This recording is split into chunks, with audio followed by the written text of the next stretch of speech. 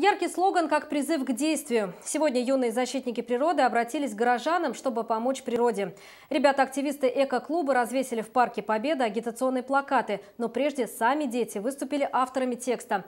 Затем, как менялся облик парка, наблюдала наша съемочная группа.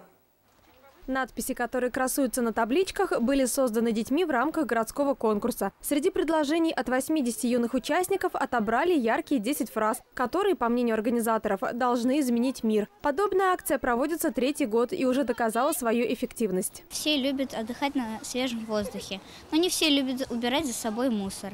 Чтобы как-то добиться чистоты, мы развешиваем информационные таблички. Периодически совершаем рейды и смотрим за состоянием мест, да, мест отдыха наших челнинцев. И таблички работают, мусора там нету по сравнению с другими местами. Парк Победа как место массового скопления людей ребята посчитали наиболее удачным для размещения табличек. Мы выбирали места, э, чтобы всем было видно. Говорим городу, что нужно экологию как бы улучшать, и что если мы же э, будем улучшать эту экологию, то э, в, го в городе город станет чистым, воздух свежим. Юные экологи повесили таблички на входе в парк, на деревьях и фонарных столбах. Все, чтобы люди прочитали эти детские призывы и, главное, приняли их как руководство к действию. Думаю, то, что она будет работать, потому что все равно, когда это ты видишь или тебе говорят что-то, что нужно сделать, ты все равно стараешься исправить, чтобы было лучше. Она нам уже помогала, мы были на роднике, в лесу,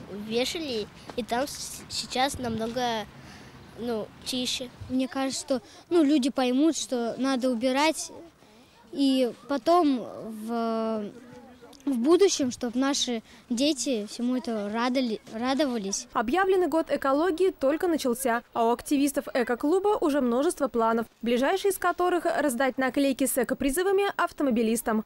Ксения Шулакова, Андрей Буслаков, Челны 24.